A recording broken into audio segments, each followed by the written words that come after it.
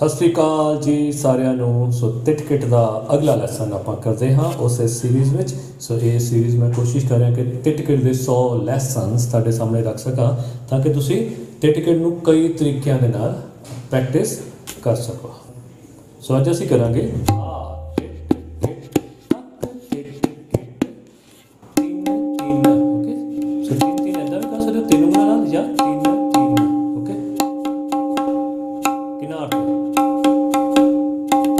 तीन आठ भी गा सकते, थोड़ा आगे भी लग जा ठीक है? तीन तीन गा सकते।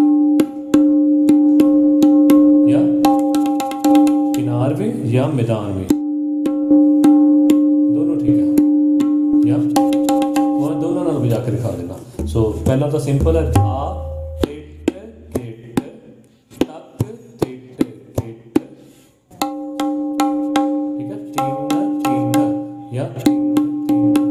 ਤਿੰਨ ਵੀ ਕਰ ਲਓ ਉਹਦੇ ਨਾਲ ਹੀ। ਤਾ ਟਿਟ ਕਿਟ ਤਕ ਟਿਟ ਕਿਟ ਤਿੰਨ ਤਿੰਨ ਠੀਕ ਹੈ? ਤਿੰਨ ਤਿੰਨ ਜੇ ਦੋਨੋਂ ਵਰਡ ਤਿੰਨ ਤਿੰਨ ਵੀ ਵਜਾ ਲੋਗੇ ਤਾਂ ਵੀ ਠੀਕ ਹੈ। ਅੱਛਾ ਲੱਗਦਾ ਸੁਣਨ ਨੂੰ ਨਾ। ਤੇ ਸਪੀਡ ਵਿੱਚ ਤਾਂ ਬਹੁਤ ਹੀ ਅੱਛਾ ਲੱਗਦਾ। ਆ ਹੁਣ ਤਿੰਨ ਤਿੰਨ।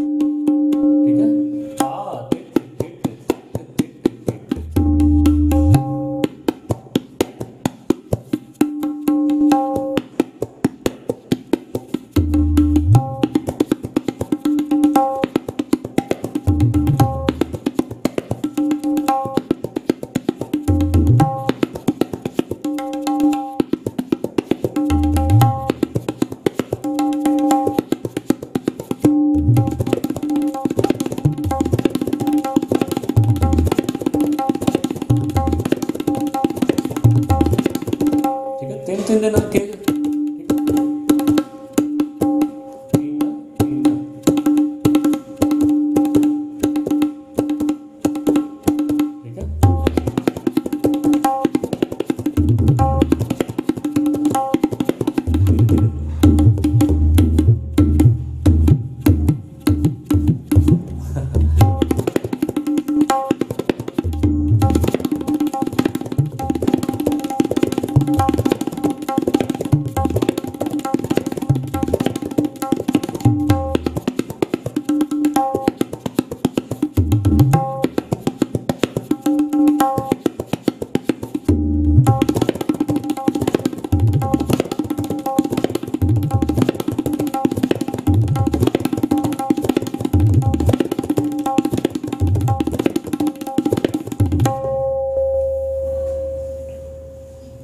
ਸਤਿ ਸ਼੍ਰੀ ਅਕਾਲ ਜੀ ਮੇਰਾ ਨਾਮ Paramjot Singh contact me if you want to learn and contact me if you want to buy any musical instruments thank you so much